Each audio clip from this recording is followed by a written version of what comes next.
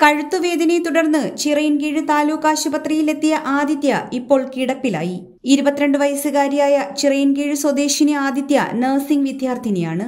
ആശുപത്രിയിലെത്തിയ ആദിത്യയ്ക്ക് എക്സ്റേ എടുക്കാൻ E N T doctor നിർദ്ദേശിച്ചു. എക്സ്റേ മെഷീന്റെ ഒരു ഭാഗം ഇളകി ആദിത്യയുടെ നടുവിലേക്ക് പതിച്ചത്. നടുവിന് പൊട്ടലുണ്ടായി. ആ സാധു പെൺകുട്ടിയുടെ നട്ടൽ തകർന്നിട്ടും ആശുപത്രി അധികൃതർ ഇവരുടെ പരാതിയെ അവഗണിക്കുകയായിരുന്നു. ഇതെന്റെ മകളാണ്.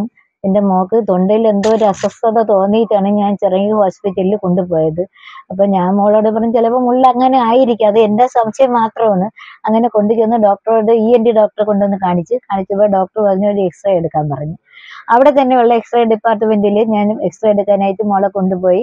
പൈസ കടച്ച് നേരെ എക്സ്റേ എടുക്കണ അപ്പൊ ആ അകത്ത് കൊണ്ട് കയറ്റപ്പോ എക്സ്റേ എടുക്കുന്ന മെഷീന്റെ അവിടെ മോൾ മാത്രമേ കാണുള്ളൂ. അവരിങ്ങോട്ട് മാറി നിന്ന് സ്വിച്ച് ഇടുമല്ലോ അങ്ങനെ സ്വിച്ച് ഇട്ടിട്ട് എക്സ്റേ ഓക്കെ എന്ന് പറഞ്ഞു തീരുന്നതിന് മുമ്പ് അയ്യോ എന്നൊരു വിളി കേൾക്കുന്നു. ഞാൻ നേരെ കയറി ചെന്നപ്പോൾ അവർ ബാക്കിൽ അഡ്ജസ്റ്റ് ചെയ്യുന്ന ഒരു വെയിറ്റ് ഒരു പ്ലേറ്റ് പോലത്തെ എന്തോ ഒരു വെയിറ്റ് സാധനം എന്റെ മോളെ ഈ ഭാഗത്ത് നടുവിന്റെ ഭാഗത്തായിട്ട് വന്ന് വീണ് കൊച്ചിന് നടക്കാൻ വയ്യാത്ത ഒരു അവസ്ഥയിലായിപ്പോയി അങ്ങനെ പക്ഷെ കൊച്ചു കുട്ടി ആയതുകൊണ്ട് ഇറങ്ങി വന്ന അമ്മ എനിക്ക് ഒന്ന് തടവി തരാന്ന് പറഞ്ഞു. പക്ഷെ തടവി തരാൻ പറ്റൂല. അപ്പൊ തന്നെ ഒട്ടും വയ്യ. നടക്കാൻ വയ്യ.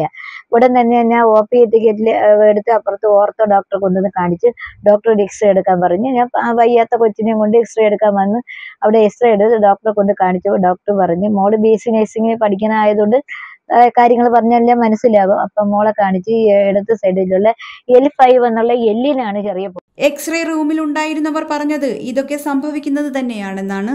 സംഭവത്തിൽ അന്വേഷണത്തിന് ഉത്തരവിട്ട് ആരോഗ്യമന്ത്രി. H P news Attingal.